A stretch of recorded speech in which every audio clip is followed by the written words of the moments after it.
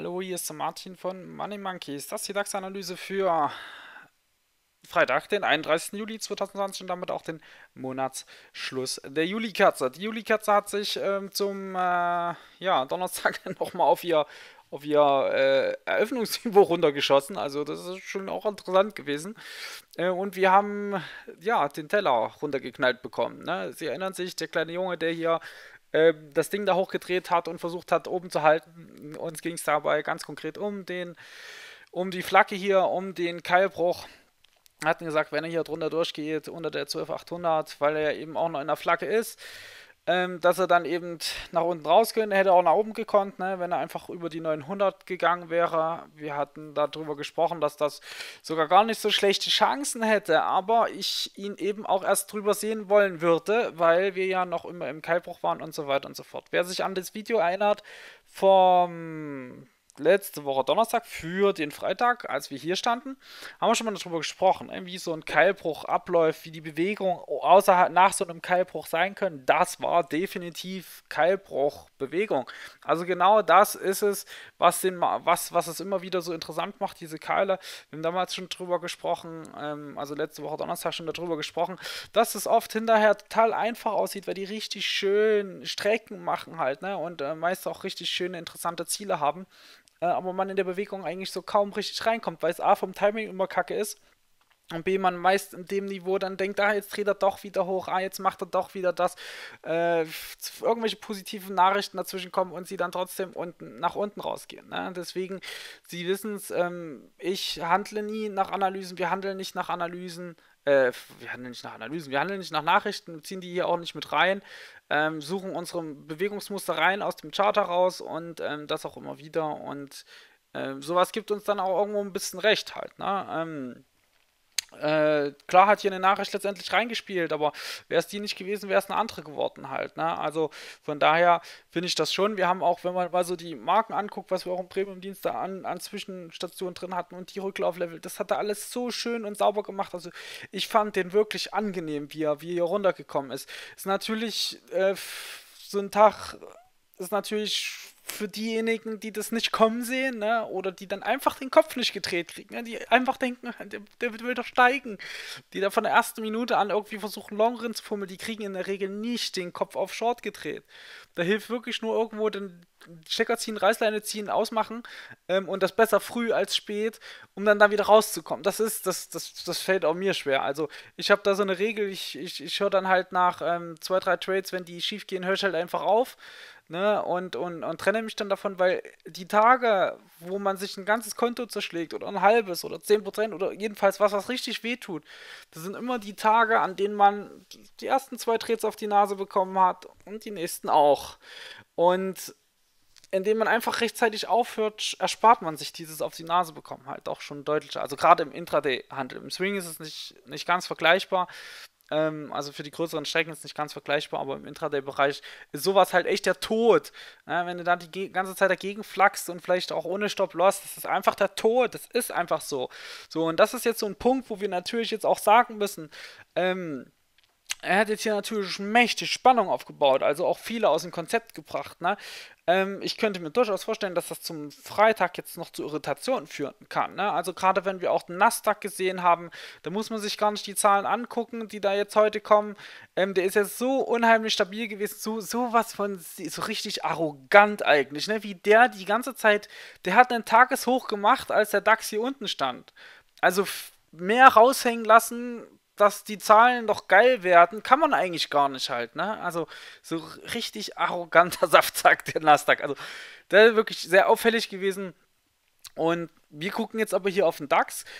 Und was ich aber sagen wollte, ist, dass ich mir vorstellen kann, dass der Markt irritiert ist von diesem Kontrast. Ne? Von einer Seite Dow auch nicht gerade unbedingt die beste Leistung gezeigt hat, DAX auch mega schwach.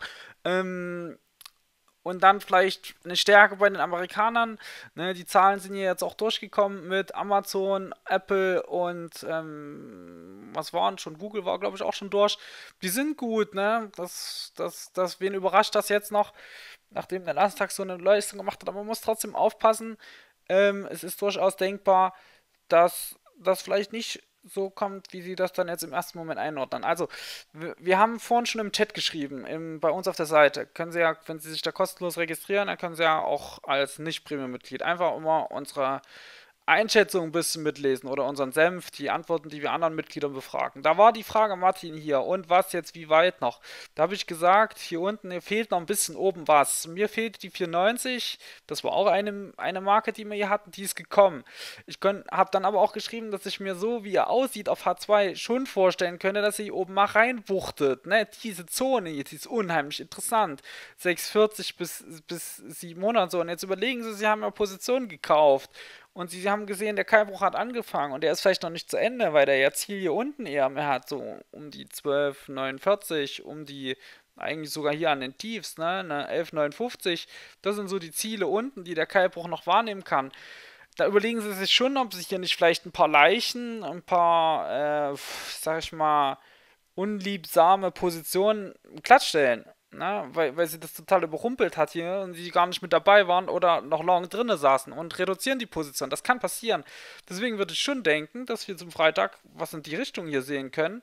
Einmal hier oben rein und dann wieder runter auf die Kiste. So, und dann würde ich hier, aber wir räumen ein bisschen auf. Hier hat gestern schon jemand geschimpft, dass wir hier so viele Pfeile haben. Äh, können natürlich auch noch mehr reinzeichnen. so. Und äh, was wollte ich jetzt sagen? Genau. Und dann sollte man unterhalb dann auch ein bisschen aufpassen, dass der DAX uns hier nicht noch abhaut. Weil man muss schon sagen, also auch wenn er zum Beispiel diesen Sprung nach oben gar nicht schafft, stellen Sie sich vor, der kommt bei 460 raus. Super geile Nachrichten rauskommt, der kommt bei 460 raus. Also ich meine, peinlicher kann es nicht werden für den Kerl halt, ne? Das wäre schon so ein bisschen, ich weiß nicht, das ist so, äh, Weiß nicht, das ist wie als wirst du mit 17 von der Mutti zur Schule gebracht. Weiß ich nicht. Das ist so, ich glaube, das kommt nicht cool. Äh, ich glaube nicht, dass er sich da Lob und äh, Anerkennung verdient. Deswegen würde ich sagen, ähm, nehmen wir hier unten mal einfach noch einen Short-Trigger mit rein. Man muss, man muss schon sagen, wenn der jetzt hier unten auf neue Tiefs kommt, gemütlich wird das nicht halt, ne? Also der wird hier einen Doppelboden versuchen, wenn wenn er hier unten reinkommt wird den Doppelboden versuchen dann kriegt er schon auf die Nase halt, ne? Wir schieben mal den hier ein bisschen rein. Der hat ja gut geklappt. Also wenn man sich hier noch, also wenn man sich hier Short eintriggern lassen hat, hat das gut geklappt. Und selbst wenn man sich hier noch Short eintriggern lassen hat, da wird sich der ein oder andere jetzt die Hände vors Gesicht knallen. Wie einfach es hätte doch sein können. Das sieht hinterher im Mutterteil einfach aus. Aber auch selbst der hätte voll geklappt, ne? Hier runter auf dem Bereich. So. Hier unten, ich glaube, das nächste Tief, das kommt hoch das, das, das wird den, den Spaß wird er uns nicht geben, ähm, dass er das einfach macht. Und dann kriegt er aber schon, dann, dann geht er schon tiefer. Dann geht er schon tiefer Richtung 12,050, weil in der Regel die Keile ja recht zügig auflösen. Soweit meine Erwartungshaltung unten. Man muss aber auch sagen, wenn sich natürlich die Amerikaner so massiv stark halten, es wird ihn irritieren. Es wird ihn aufhalten und irritieren. Dass ich mir, also, jetzt bin ich schon am überlegen, wie ich meine Pfeile setze, weil eigentlich erwarte ich, dass der zur Seite schlägt. Eigentlich hier so dazwischen. Vielleicht nachher den raus. Das trifft nicht ganz meine Erwartung. Meine Erwartung ist wirklich, dass der zur Seite schlägt zum Freitag. Dass der echt nicht weiß, was er mit dem Mist anfangen soll, den er da jetzt gemacht hat. Ich nehme mal deswegen hier noch zwei, zwei Sachen mit rein. Und eigentlich erwarte ich sowas hier. Den ganzen Vormittag nur rumdrucksen. Positiv, schönes Gap ja, vielleicht noch ein bisschen anschieben, dann schon doll auf die Bremse treten, wieder zurückrudern, überhaupt nichts mit sich anzufangen wissen und dann hinten raus wegkippen. Also das wäre echt meine Erwartungshaltung für den Freitag. Und wenn er das macht, wenn er die Route macht, dann kriegt er zum Mond dann noch einen Downgap verpasst. Und das geht in die Richtung dann hier unten. Ne? So, von daher haben wir das soweit durch. Hier oben müssen wir einen Long Trigger nehmen. Ne? Wir haben hier einen Gap Close bei 8,42, 8,72. Aber alles, was da jetzt drüber geht, über die 12,900, das ist schon, ähm, das ist schon long. Das ist schon long zu sehen. Das wäre auf jeden Fall jetzt das K.O.-Kriterium für Short-Position. Ne, hier wieder zurückgeht und auch das Gap zumacht. Also das, dann ist der Keilbruch halt nicht mehr aktiv, der Keilausbruch. Ne? Weil das macht er direkt in der Regel. Also wenn er es macht, dann macht es direkt und dann auch direkt zu. Ne? Also von oben bis unten zu und wie gesagt, eigentlich sogar hier 1159. Müsste man hier, müsste man hier sogar durchzeichnen. Das wäre, das wäre äh, Keilbruchziel. Und das, das hier unten, das ist, wäre nicht ungewöhnlich halt, ne? Ähm, aber dafür muss es sich echt noch was einfallen lassen, wie er wieder hier runterkommt, weil momentan wird außerbörslich schon bei 5,40 taxiert, also auf dem Niveau her. Aber auch wenn sie das im Verhältnis setzen, da ist schon, das ist, der hat halt schon echt einer von Bug bekommen. Der hat sich richtig ins Knie geschossen. Ich bin, ich glaube nicht, dass ihm das so leicht fällt, dass er hier raussteigen kann wie so ein Honigkuchenpferd. Das, das hat, das, ich denke, das wird noch nach, hinten nach sich ziehen und ich könnte mir vorstellen, dass sich das so auswirkt, dass er hier oben einfach zur Seite haut. Ähm, na klar kann er auch direkt hochrennen und das ausgleichen, es wäre charttechnisch jetzt nicht unbedingt zu favorisieren. Ähm, einfach, weil hier auch zu viele Schieflagen entstanden sind halt, ne? Äh, von daher, wir lassen das mal so drinstehen. Das ist eigentlich genau das, was wir im Chat jetzt auch angekündigt hatten vor drei oder vor vier Stunden, auch sogar bevor die Nachrichten gekommen sind, haben wir das geschrieben, dass er, dass er in der Nacht bestimmt hier nochmal nach oben schießt und gegebenenfalls vielleicht schon wieder runterkommen kann. Dass das durchaus auch eine 585, eine 530, eine 640 werden können. Vielleicht sogar eine 670 bis 745 im weitesten. Das sind jetzt so hier die, die Ziele. Und ähm, ich sag mal, die Nachrichten haben jetzt da nichts dran geändert. Bestätigen das eher mehr die Vermutung.